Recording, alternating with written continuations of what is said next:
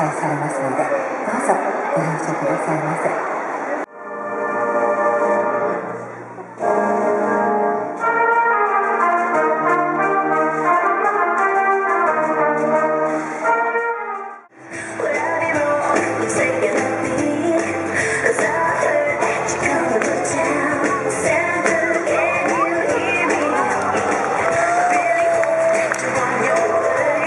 何かしてるかもしれません。ね、そのしてるかな、してないかなってクイズです。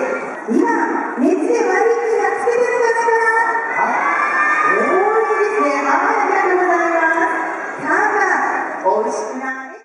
男たちが力を返してくれたおかげで